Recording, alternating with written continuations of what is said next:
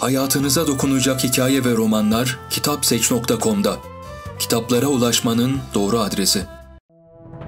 Satranç Stefan Zweig Türkiye İş Bankası Kültür Yayınları Stefan Zweig, çok geniş bir psikoloji birikimini eserlerinde bütünüyle kullanmış ender yazarlardandır. Onun dünya edebiyatında bir biyografi yazarı olarak kazandığı haklı ünün temelinde de bu özelliği yani yazarlığının yanı sıra çok usta bir psikolog olması yatar. Satranç, Zweig'ın psikolojik birikimini bütünüyle devreye soktuğu bir öyküdür ve bu öykünün baş kişileri tamamen yazarın biyografilerinde ele aldığı kişileri işleyiş biçimiyle sergilenmiştir. Zweig ölümünden hemen önce tamamladığı birkaç düz yazı metinden biri olan satrancı kaleme aldığı sırada karısı Lot, Zweig'la birlikte göç ettiği Brezilya'da yaşamaktaydı.